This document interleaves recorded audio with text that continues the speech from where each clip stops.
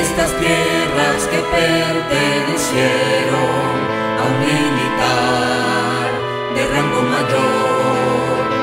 En amor infinito a su esposa, Santa Rita, su hacienda y amor, pasó a ser bien del gran benemérito que el Congreso luego confiscó.